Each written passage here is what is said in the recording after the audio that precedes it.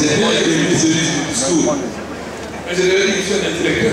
Je suis un professeur, intellectuel. Je n'ai pas besoin de me dire ce que je dois dire. Donc, c'est bien que les ministres fassent du discours, mais je suis désolé, je le dis jamais du discours. Hein?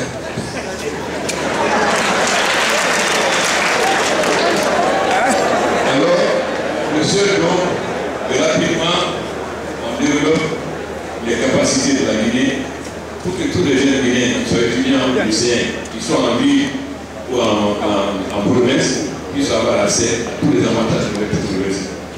Nous devons aussi enseigner l'anglais dès l'école primaire, parce qu'il est nécessaire que les jeunes maîtrisent l'anglais. L'enseignement anglais a un avantage sur l'enseignement français, sur les enseignants en France. C'est l'enseignement français très théorique, dit c'est le métier noble avant professeur lettres, droit, manuel. C'est ça l'avantage l'entraînement anglo-saxon sur le monde. Mais aujourd'hui, avec une nouvelle technologie, nous sommes obligés d'aller vers l'enseignement pratique, c'est-à-dire qui amène la main, pas seulement lettres ou droit qui paraissent nobles.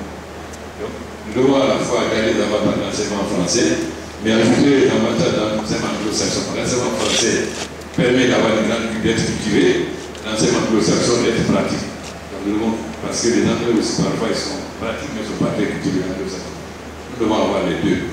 Cultiver, en même temps, maîtriser le, ce qui est manuel.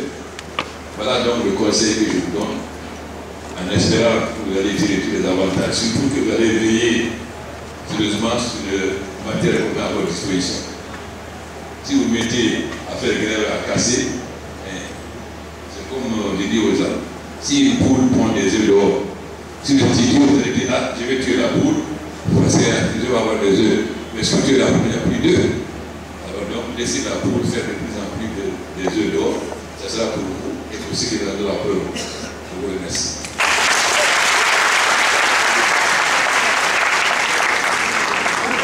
Merci, Son Excellence, Monsieur le Président de la République, pour son initiative. Nous allons passer à la seconde phase du lancement.